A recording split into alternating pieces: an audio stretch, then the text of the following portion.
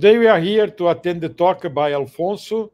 So Alfonso was born in San Jose, uh, Costa Rica in 67. Uh, Alfonso holds a baccalaureate degree in electronics engineering from the Instituto Tecnológico de Costa Rica and a doctorate in engineering from the Universidad Nacional de Mar del Plata in Argentina in 2009. He also holds a Magister Literarum in English literature from the University of Costa Rica. He has published several papers on digital acoustic signal processing and has served as a reviewer for several IEEE conferences and journals, such as IEEE Sensor Journals, IEEE Transaction Circuits and System 2, uh, and the Spring Analog Integrated uh, Circuits and Signal Processing. He shared the 2011 National Literature Award in his country for his novel El Luto de la Libélula. His interests range from low power analog and digital VLSI, low power signal processing and digital system architecture, to philosophy and uh, literature. He's co-founder and VP of Business Development of Rydev since 2021. So thank you very much, Alfonso, to accept uh, uh, our invitation today here to talk about Rydev. Maybe we should uh, schedule another talk uh, to talk about your book, but okay. today uh, you are going to talk about uh, the ASIC design house. So thank you very much, and the floor is with you. Well, thank you, Ricardo, for having me and inviting me, and thank you to CAS for everything that's made possible for us over the past uh, years. And as you know, you know our history, and many of the guys probably here know our history. And right, it would have existed if, if it weren't for CAS and all the opportunities that we have had in the past uh, of um, sharing everything that we do at academic level and trying to bring up all those things we do uh, uh, in academy to the industry, to what it really matters to the people. And so let me introduce myself. I'll say myself Alfonso. I'm, I'm actually a professor at the University or Instituto Tecnológico de Costa Rica. And in 2021, we started this project with a colleague of mine, Dr. Ronnie Garcia, and a colleague from Argentina, uh, Guillermo Wischel. Uh, and we started this uh, dream of having a Latin American-based uh, design house uh, able to provide services to uh, anywhere in the world. my, tech, my my my lecture is not going to be that technical. The idea is just to give you a, a short glimpse of what we do in in Rydev in alliance with uh, the company of one of our partners, Guillermo Wischel. But the idea is uh, also to try to motivate other other people, other companies to explore some of the things we're doing and trying to find a, a bigger market uh, for uh, microelectronics in the regions? How, how do we manage to start uh, claiming ground in the world market, in the microelectronics world market? How do we do that? I mean, uh, Ricardo Reis has been a pioneer, and CAS has been a pioneer in the past decades trying to uh, move forward uh, the idea of having uh, microelectronic powerhouses in the region. We have some all of them are foreigner. Most most of them are foreign and not Latin American. Well, the next step is how do we create our own powerhouses? I mean, uh, Latin American powerhouses. And, and the idea is to give you an, mm, some examples of how had we, a Costa Rican slash Argentinian company, had managed to uh, grab a hold, a small bit of the market, and how do we see an opportunity of uh, growing into that sector and gaining attention so we can also leverage other areas of the micro uh, microelectronics uh, environment and and as i said claiming more space in the worldwide microelectronics market. So that's the agenda. That's basically what i what i want to share with you. And what do we do? We're a design house that offers um, all the services that any design house typically modern uh, offers to the world. Um, we're basically um, located in the front end uh, side of the business. That means we do mostly RTL and verification design, both for ASIC and FPGA. We also have a shared of our team uh, involved in the development of software, particularly firmware, whenever it's related to uh, a particular application, either a firmware re required for an ASIC or an FPGA or for an embedded system. And we also uh, provide support in, in the development of specific pieces of hardware related to any of these applications. Uh, the idea is that we try to apply the knowledge we've acquired in the past uh, years and, and decades in this area and try to provide with uh, quality services around the world. So we're a small company, no more than 50 people, uh, adding up all the people in Costa Rica and the people in Argentina. Um, but if we consider uh, the achievement of, of our um, our people, we can uh, say, okay, uh, say that? We well we're pretty comfortable because we can sell this uh, ability of, of, of these capacities to to people that the first thing is going to ask you is okay how many chips do you have under your belt and that's one of the big questions whenever whenever you're trying to, to, to achieve a, a, new customer in an area in which they're not used to seeing Latin American faces or, or people or names uh, in these areas. And well, we can confidently say that in our case, uh, among ourselves, we, we have more than 50 tape-out solutions in nodes all the way down to three nanometers using TSMC, Intel uh, processes, and we have more than uh, 150 plus FPGA solutions in the top-notch uh, FPGAs you can imagine, and we've achieved that in the, during the past few years. Of course, not in Rydev. Rydev is a very, very new company, but we've managed to assemble this team of people that come from the industry, for Intel, Hewlett Packard, and many other places, and integrated with our management, we're now capable of, of offering our capacities to the rest of the world. So, but I don't want to talk too much about uh, um, as a company, but as an example of what we can do in the region. Um, we offer, because we know we have the knowledge to offer uh, production or, or design of chips from architectural specification all the way down to the PCB and the platform bring up, and even providing support to post-silicon testings. And all those things I think are available throughout the region. I mean, this is not something that is located in in a, in a small uh, city, in a, in a, in, a, university. For my experience in past LASCAs and many other conferences I've attended in, in Latin America in the past decades, I mean, we know we've had that, that capacities here in Latin America for a long time.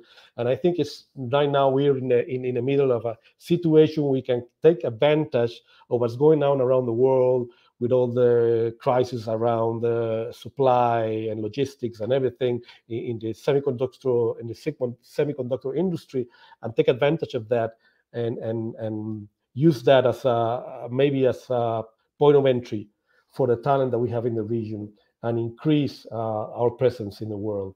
So uh, basically this is this is again a, a small um, brief account of what we do so I am not going to stop too much on that uh, the, you're going to have the presentation in case you're interested in what we do but it's typically what you get from an FPGA and ASIC design uh, house either digital or mixed signal we also do some analog not that much but we have also uh, covered some some analog designs from some customers we have a major knowledge of all the all the commercial flows and languages and methodologies and as I said, we've worked from 180 nanometers all the way down to three nanometers.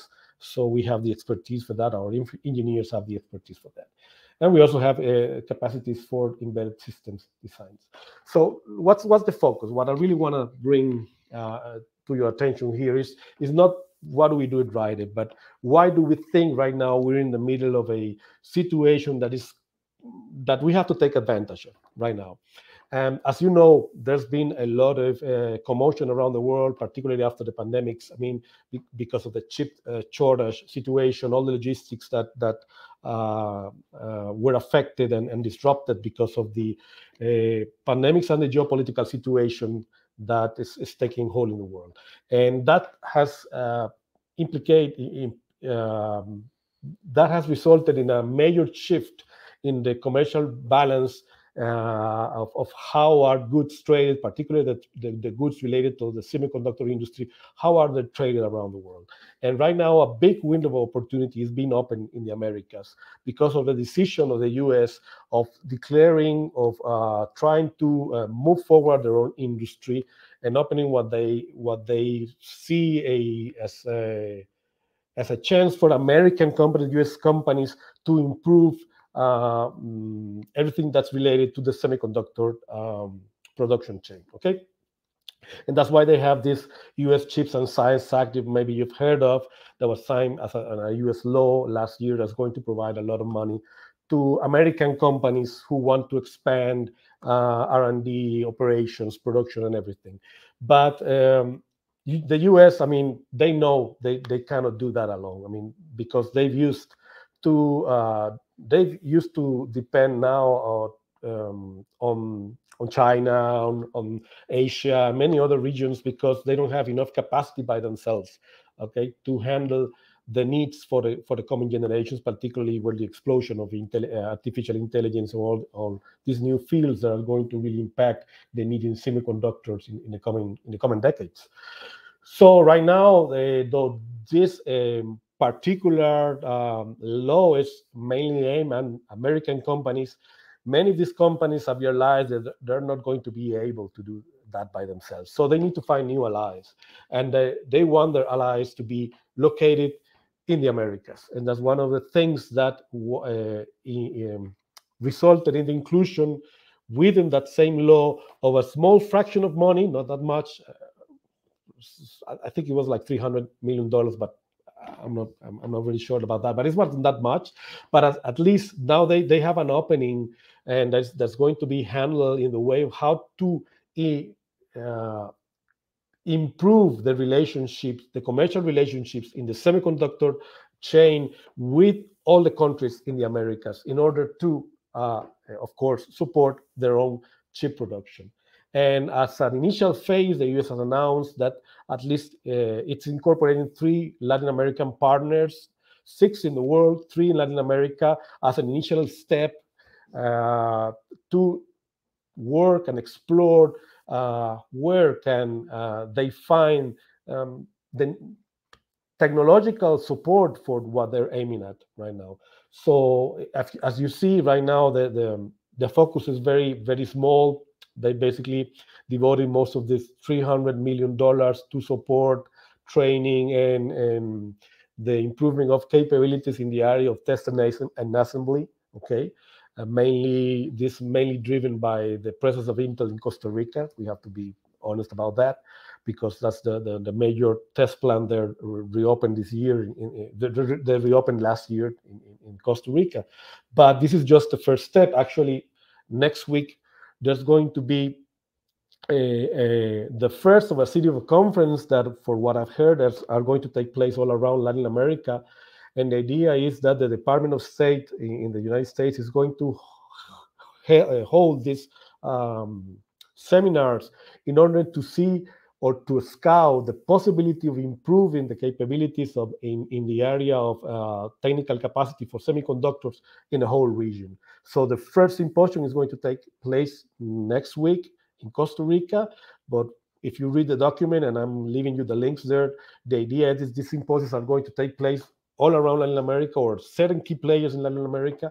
And the idea is that they need to extend uh, uh, these possibilities because they want to stop depending on uh, uh, the Asian uh, providers they usually have. And as I, I had a meeting uh, about a month ago, no, a couple of months ago, where, where there was uh, some people from the Semiconductor Association in, in the US and, and, and, some people from uh, Intel that those are the ones who de decide where a new plant is going to be. And one of the major uh, actually players in that, I mean, is the guy who basically decides where is Intel going to place a new a new site. He said that even though Intel has no plans to establish new sites in Latin America in the near future, that doesn't mean that they don't want to buy part of the supplies or part of the equipment or part of the services they have in the rest of the Americas because they want to cut their dependency from Asia and other, and even uh, even uh, India. And well, that's good news for us because that means they're looking for someone here nearby who can support them. But that means that we also have to, in a way, step up our game and see if we're able to uh, take advantage of this as proposition. So what I want to just discuss uh, during the rest of the presentation is give you an idea of how and in, in in a way, very uh, maybe it was an accident, I don't know, but we've been able to take advantage of some of that stuff because I don't know if you notice, I mean, if you any of you guys have uh, works in the industry that many US companies are trying now to find more services in areas that are closer to the time zone and, and because of, of this shift, uh, geopolitical shift, they're also looking for uh, strategic partners that are vetoed by the U.S. I mean, that, that, that they really can work with the U.S. And so we find that, that opportunity. We, we uh, decided with our partner in Argentina that it was a good idea to set up a new um, uh, uh, enterprise, and we established this joint venture between Emtech, that as a company has been existed for almost 15 years in Argentina, and some new guys in Costa Rica. That's me and my and my, and my partner Ronnie, and, and, and some other guys that came from from industry, Intel and Hewlett Packard. And we set up shop, and we started selling these services. Uh, we added the new services to what uh, Emtech already had. That was FPGA design, FPGA verification, hardware design, all the things they already had. And we added the, the, the ASIC component and with all the major things that you require for an ASIC design company. And we were able to find customers. That's the good thing. we were able to find some customers. And actually, uh, during the past two years, we've been work, working in, in, two very interesting projects, big projects for uh, American startups. I cannot tell you the names, but uh, the two big startups uh, with big funding.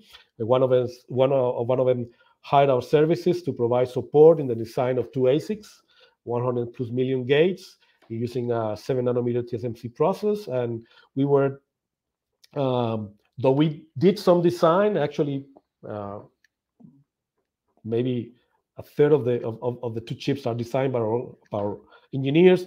We found a niche, a very interesting niche in verification, in functional verification, because that's where the big need was. I mean, that, that's where they really depended on us.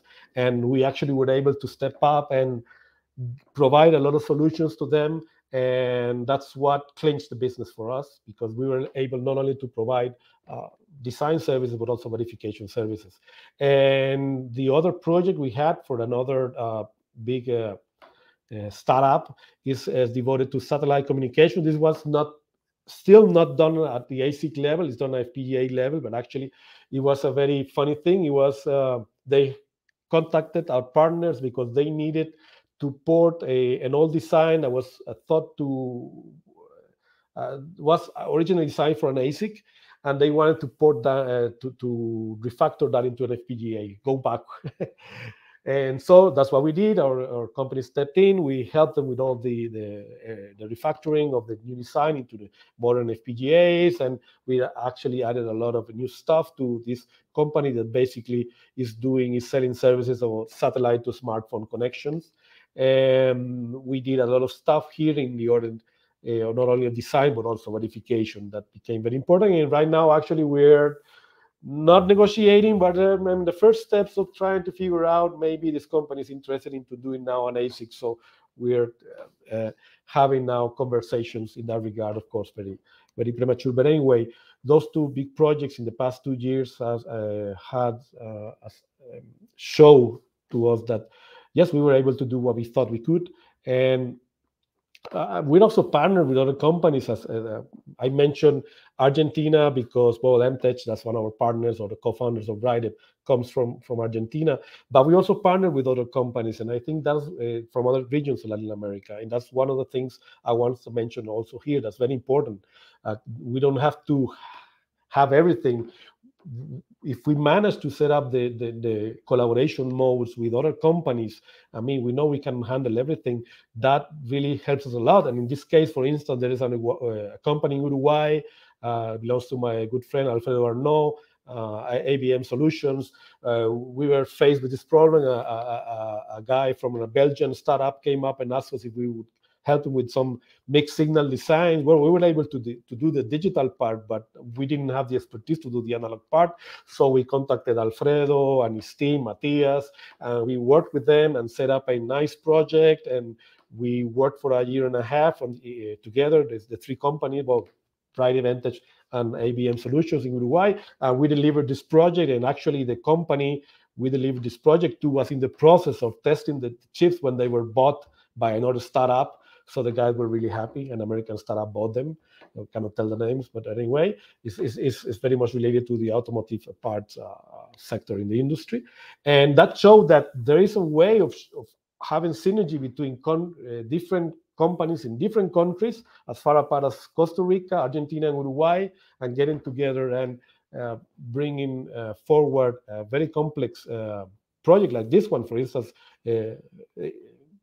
were two chips, two chips actually, that's those were the ones we, we designed for, for this company.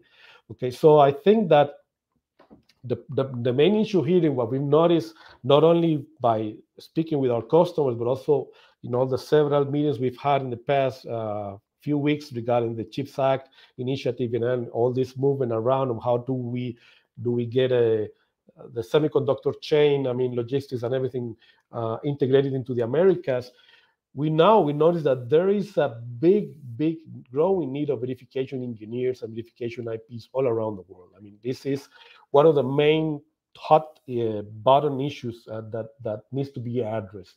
And we know that the idea, okay, so the good thing would be to have I mean, the whole the whole setup of, of, of, possibilities of our industry here, but it's very difficult. But if you find a niche and you take advantage of that, that's going to bring the attention to you. And we've noticed several things that are very interested, particularly that uh, many ASIC design companies are tied to the old way of doing things, and they don't really want to use the new models and their senior engineers are tied to the old ways. And they don't really want to use all the all the capabilities that you get from things like UVM and stuff like that. And we found something very interesting that that in the end also was sort of difficult for us because they all wanted senior engineers. They all wanted guys with 10 15 years of experience in verification for the projects we were handed to. The problem is that if you get a guy with 15 years of experience in verification most of the time this guy uh, doesn't really know what's new. And it's not uh, very much into the new languages, the new standards, the new methodologies.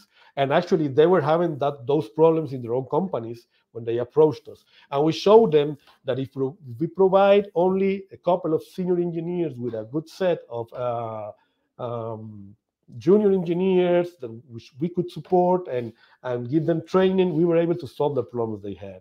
And actually, they were very, very much surprised by the results we provided with guys that only had one, two years of having left uh, uh, university, and they were able to to fix the problems that they hadn't fixed for for months. And now I'm going to tell you why.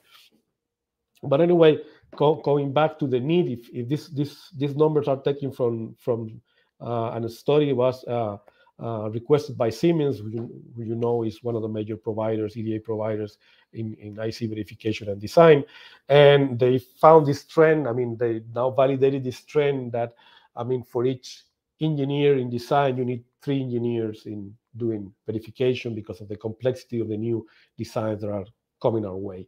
And we've seen this growth of on the need of more verification engineers, more verification engineers, in uh, ASIC and FPGA design, both both uh, areas. And actually, well, you can you can access this study, and you will have the the, the slides, so you can have a look at them. Um, and that means that also because of that uh, concentration of, of, of, resources in, in, in, verification that standardization is being taking place uh, with all the efforts by Accellera and IEEE to standardize the verification uh, flows. Now we see now there's a big, big concentration in what we call UVM, that the, the standard has been provided by, by Accellera, the universal verification methodology, not only in the ASIC design, but also more and more in FPGA design, which wasn't in the past, but now uh, this has been taken, um, it's, been, it's been gaining momentum. And that means that uh, if you get people training UVM, if you get people training system Verilog, you get uh, someone who's going to get hired real fast. Okay.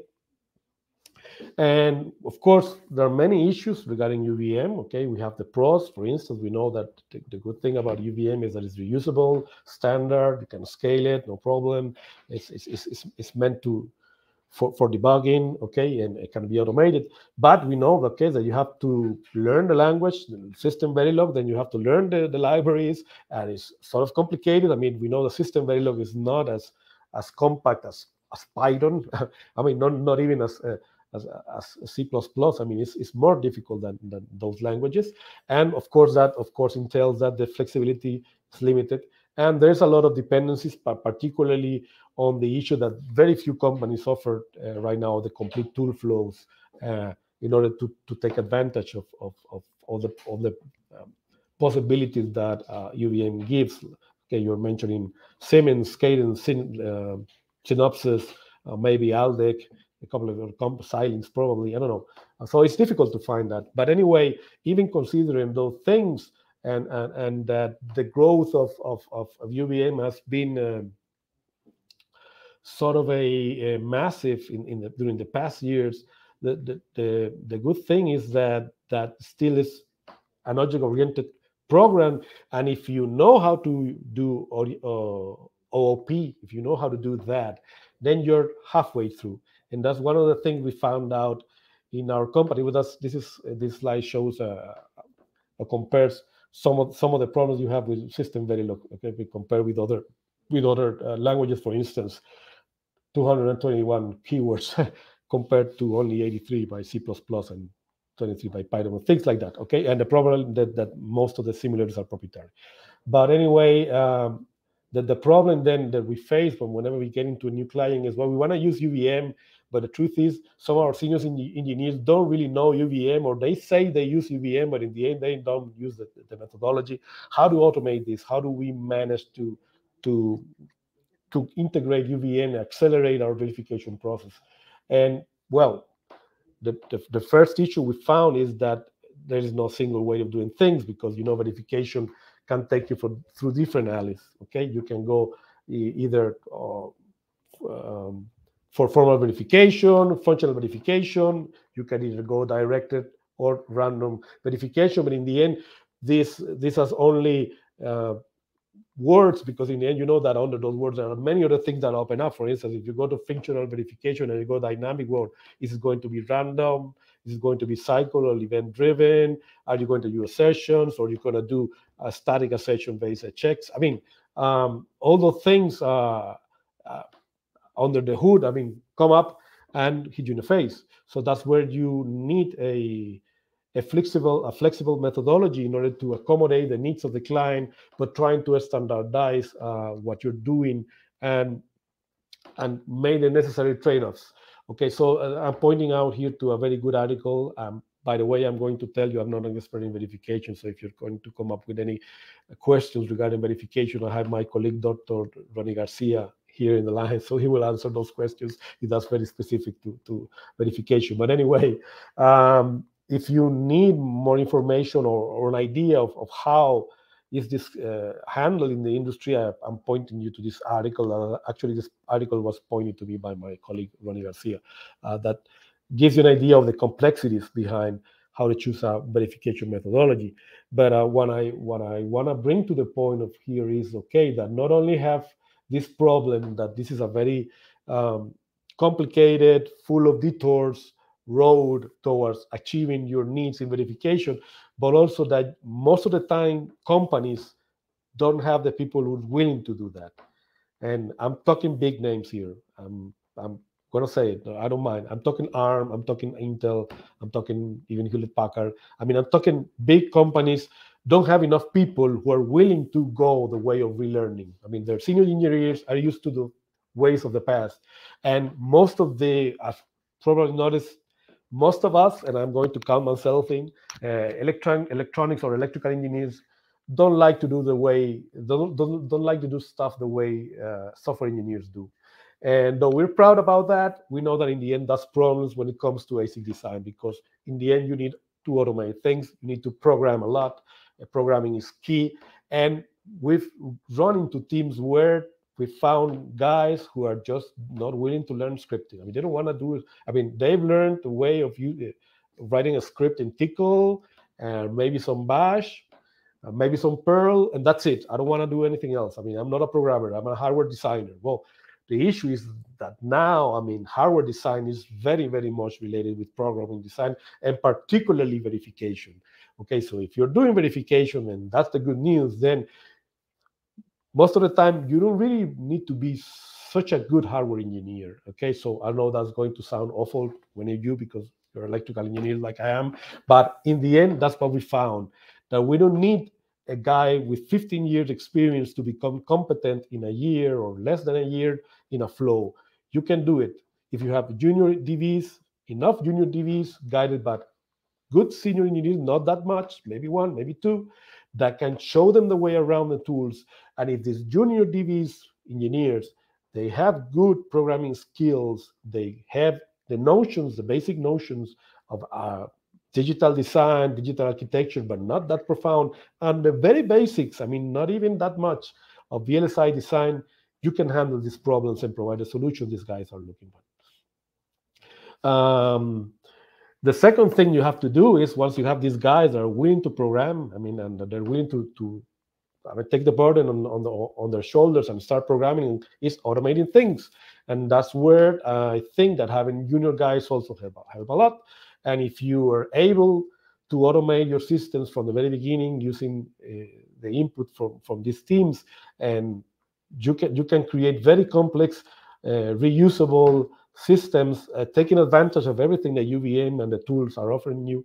Uh, it's not that it's very easy. I mean, it's not that it's uh, like a snap, but you have enough muscle now in order to to reach what the, the client wants. And is, I mean, getting to the coverage required and sending your chip to to the foundry without uh, losing the, the blink of an eye. I mean, like you're going to sleep like a baby because you know there's no there's not going to be a respin. Okay, that's that's the that's the dream. Right? You don't want any respins. You want everything first silicon success. Okay, and that means taking this part of the of the design cycle very seriously.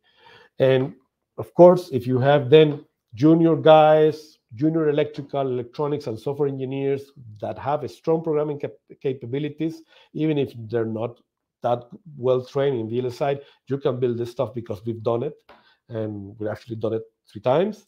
And if you add up agile methodologies or any other agile or, or Scrum or, or any other methodology that you use for program management, that's going to help, of course, a lot.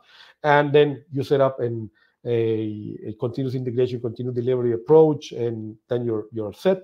Of course, it's not as easy as it sounds, but the, the, the good news is what I think we can we can uh, get. Oh, um, you can include, for instance, the use of linters, we've we found that it's very useful. I mean, to avoid uh, consuming too much time of, of simulation stuff, uh, rely heavily on linters so you know that your code is clean before you go into the simulators and using all any, any all sorts of uh, batchers, Slurm, or whatever you have in order to provide you with with the throughput you need and uh, automation. For instance, uh, that that's very key uh, here when when you have the RALs or the, the, registered abstraction layers and you have to automate the creation of those RALs. Okay, you, you need tools also to help you with that. And the good thing is that if you have young engineers, they're willing to explore these new things, while senior engineers they would like it to do it the old way. So that's why I think that in short, uh, we found an interesting niche. We, thought, we think there is a possibility for many companies in the region to start exploiting this need of functional verification services without needing right now, without requiring the number of senior engineers that one might uh, think you would need. Okay, no need for engineers specialized in VLSI to do this. I mean, you need some seniors, but not the whole bunch. And and and I think that for us, that's what really was key. I mean, our growth was mainly predicated on what we did in verification, and most of the guys we had in verification were juniors, and they did the job, and our customers are happy. And of course, that doesn't mean that we have that we have to stop VLSI training because the idea is this is only small niche, and we don't know when artificial intelligence is going to take away that niche from us. But I think that is that is an opening for us to to make ourselves known. Okay, okay, these guys really know what they're doing. They're doing verification.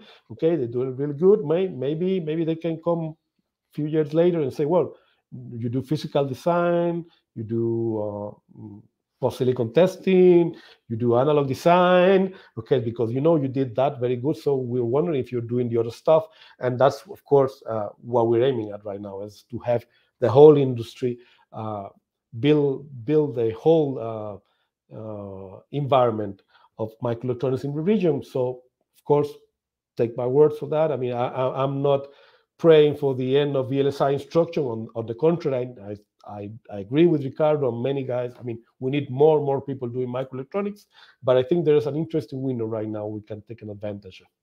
So that's my talk. I'm sorry for talking too much and open up for questions. If you have any uh, requests or comments, please. So thank you very much, Alfonso. So uh, the floor is open for questions. So uh, please do your questions using the chat channel in YouTube as soon as possible. And uh, well, as you you talked a little bit, uh, I think the big challenge we have in Latin America is to use the opportunity that there is a lack of uh, people with skills to do IC design in, uh, in the world, as well as EDA. Yeah. So um, uh, this is a great opportunity because uh, we have clever people, and uh, the point is that uh, most more people in all Latin America needs to to learn how to to do design, to do verification, and so on. So, uh, do you agree with that? No, of course, of course. Uh, we, we need more people in, in the field, and and if if if, if we don't get that people, then the opportunity is going to. I mean, we're going to let it pass because I mean it's right now. We need them right now, and in the coming few few coming years. I mean, like two, three years, four years. After that, we don't know. I mean, if the window is going to be closed. So we need to take advantage of that fast and and and bring more people into the the equation. I agree completely with you. Yeah, because there is one trend that uh, more and more all computing system, electronic system should end by a chip, you know, to be more reliable, yeah. to expand, uh, to use less power, and so on. So, how you can comment? Can you comment on this? Yeah, no, I think that, that that's good news. We know that, for instance, uh, everything related to uh, artificial intelligence on the edge, I mean, uh, is, is going to take advantage of what we call the Internet of Things in the past. I mean, like we need chips doing the uh, easy processing. I mean, uh, in order to get uh, get information off the cloud. I mean, leave the cloud for the complex things and, and do the basic things and, and the collection of information of the initial processing on chip. And that's that's why we're seeing this explosion. I mean, like the other day I was, I don't remember names, but uh, the numbers, but uh, for a combustion engine car, I think there were like 50 chips or 75 chips. Uh, for an electric, for an EV, electric vehicle, there were like 250 uh, from the basic models all the way up to several thousands for the most complex. So that's a big opportunity because now you're talking that each car is going to have a thousand chips inside, okay, We're driving all the sensors and everything that's needed. So there's the opportunity. The, the problem is that there's not enough people, not even India or China, China were used to provide that people have enough people to handle that. And actually, one of the big issues that is not very much mentioned uh, in the discussions is not that the foundries weren't able to produce enough chips, because that's one of the things that they were brought up during the chip shortage uh, period. But the, the, truth was that there weren't enough design houses around the world to provide the design because there weren't enough engineers to, to design those chips. So in the end, that meant that even uh, China or India were having lead times of two years, like you were asking a design house that hey, I want to design a chip. Well, give me two years and I'll be able to take it. I mean, like so that's a big opportunity, and, and that means that is coming our way because because of the geopolitical situation. Now the U.S. wants to do business with us right now. We don't know if that's going to happen. I mean, it's going to stay for that that way for long, but it's a way to establish relationships with, with uh, American companies willing to do business here and, and, and services. That that's something we have to explore really aggressively. yeah, I think if they are clever, they can trust more in Latin American people than uh, from some other locations abroad. No? Yeah, I think they're being forced to do that. I mean, like um, because of the geopolitical situation, and and I think that uh, um, the interest that the Department of State is showing into having all these conversations all around the region means that they're willing to open up to something that in the past was mainly, I mean, closed for us and was a path that was not available. Okay. Mm-hmm. So we have to take advantage to that. And the issue that, uh, as you mentioned the other day to me through email, there are several American companies already operating in Latin America.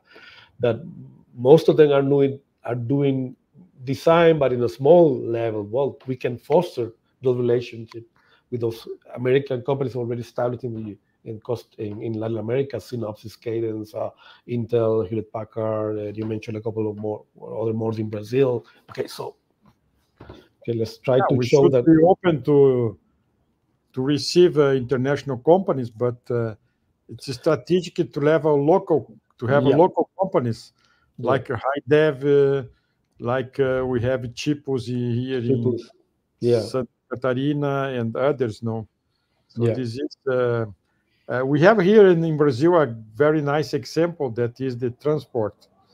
If you see an airplane that is yeah. quite high tech, we have a Embraer that is competing worldwide, uh, selling airplanes worldwide, and so on. Then uh, buses also Marcopolo is also mm-hmm. selling buses and uh, but cars no. No, we don't have All cars. the companies that are established in Brazil are uh, international companies. So they decide uh, to where the local uh, companies can sell their cars. No, General Motors of Brazil cannot sell General Motors cars to anywhere in the world, just to the location that uh, the yeah. headquarters decide. No, so why we don't have a local brand of cars in in Brazil or any South American country? No. Yeah. So uh, that's that's a very interesting questions, but I think that uh, uh, regarding electronics right now, there's an opportunity, and, mm-hmm. and I think that uh, we have the, the, possibility right now because of what I've seen in the environment around. We have enough people to, to give it a try, but still we need more people. That I completely agree. More, yeah. Well, but I'm seeing no questions here from the chat. If there is someone that still wants to do a question, please do uh, ASAP. Uh, if no, uh, I think we should close the session and thank you uh, again for the very nice talk. And I, I wish you a great success to Rydev. And uh, also, but another point that you you talked uh, uh, is the fundamental to to people here to have skills on uh, uh, IC verification. No? Yeah. So uh, that is something we need to really take advantage of because there's a real need for that, and there's an opening right now around the world. I mean, many many uh, IC verification engineers are needed. And my experience is that you don't need. I mean, the the, the learning curve is not as steep as on other areas of VLSI. So there's a way of fast uh, there's a way of fast growing that that that niche and, and so make the, ourselves known. The big challenge is to introduce all these uh, topics in the undergrad courses in electrical engineering, computer yeah. engineering, and so on. So this uh, majority of uh, undergrad uh, programs in Latin America don't have these subjects. No. Yeah, no, I, I agree, and and that's something we have to work on. yeah. So thank you very much again, Alfonso. I hope to see you soon in person. Okay. Yeah, uh, sure. You all the best with the new company and a great success. And uh, thank you very much. You're see welcome. You thank you for having me. Bye-bye. Bye-bye.